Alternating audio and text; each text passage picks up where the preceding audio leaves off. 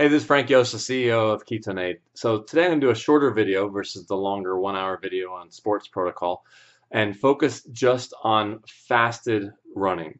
So after hundreds, thousands of people gave feedback on, on the drink and how they use it, uh, they're all discussing on the Facebook forum what works. I've been able to kind of compile, hey, how come it didn't work for this person but did work for this person? What were the things that they had in common and didn't have in common? And the number one most reliable way to see gain with it uh, are people that already work out fasted. So if they're already working out fasted and then they take ketone ester before their run, that's when they notice you know the biggest gains. So let me explain that. Um, if you're not working out fasted and you normally suck on some gel packets, let's say 20 calories of of uh, no, not 20, 100 calories of glucose, 20 grams of carbs, and you go work out that way, and then the next day you come back and you take 24 calories of ketone ester instead, and then you go for a run, and you're just not going to notice as much of a difference, if any difference at all, or maybe even a worse performance. So it's swapping out one fuel for another fuel is just not going to be as noticeable, especially with the glucose has just so many more calories versus what you would be taking with the ketones. So on a calorie per calorie basis, calorie means energy. In other countries, they don't use the word calorie. Calorie, they use the word energy. So you're going to be having many, many more calories, a lot more energy, and that you know, all else equal, that might increase you know your performance more. However, people work out fasted. There's reasons for working out fasted, burning fat, uh, less inflammation. That glucose might increase your performance in the short term, but then it causes more inflammation and more problems. So then you can't work out as frequently. And so some people will work out fasted. So when you take the ketone ester and you're a fasted person, whether you're a keto person or a non-keto person, that actually isn't wasn't a variable that we found was necessarily that that different. We did find that Keto people might need less because they already have a baseline ketone number and then takes it up from there. So for you know the general protocol for the KE4, people will take between a capful and two capfuls, so 5 and 10 mLs, uh, 10, 15 minutes before their workout. So women might take 5, men take 10. It's a sensitivity thing. We've just found that women tend to need, need less. Um, and if you're a non-keto person, you might go all the way up to 15 ml, so three capfuls. Above that, you start getting into the dual fuel protocol. Too much of a good thing is bad. Drops your blood sugar too much. You're gonna have to watch the other um, video for that. But with KE1, uh, women might take half of a bottle, men take a full bottle, and maybe uh, non-keto people, full bottle might be fine, or they might want to go you know, a bottle and a half before their workout. So some people might say, well, the reason I'm doing the fasted workout is to burn fat. You know, so will this stop that?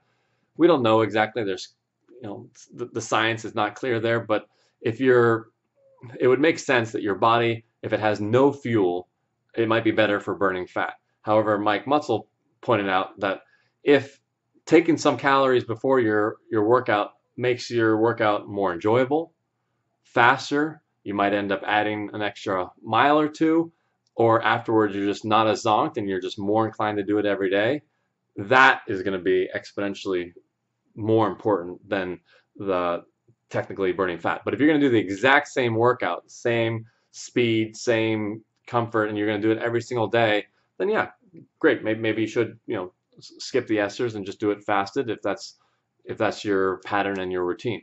Another thing that fasted people sometimes have a problem with is after their workout they just feel ravished. And this one woman said, you know, my problem isn't before the workout. My problem is afterward. I just, you know, they got those smoothies at the gyms when gyms existed uh, during the COVID time. I hear, um, and she would get a you know huge smoothie, feel justified because she worked out really hard, but also really hungry. And that's just not those two things are actually a problem. You feel justified because you worked out really hard, but then you're hungry on top of that. So some people will take the same amount of ketone ester right after the workout. You can actually do both. You can do it right before and right after.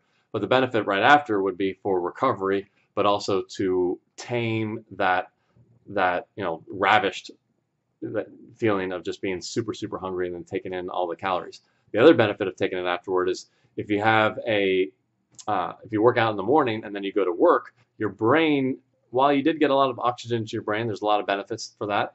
It can be a little bit taxed if you're working out for a half an hour, an hour. Your your brain, you know, can get a little bit tired. So taking the esters then, uh, instead of taking a cup of coffee, can you know bring your brain back for the workday. And this one bodybuilder actually takes it only after his workout because he finds that it brings his brain back for his work day. So for him, it was more important to have his brain on after his workout, and maybe it allows him to go harder in his workout, knowing that his brain won't be completely zonked.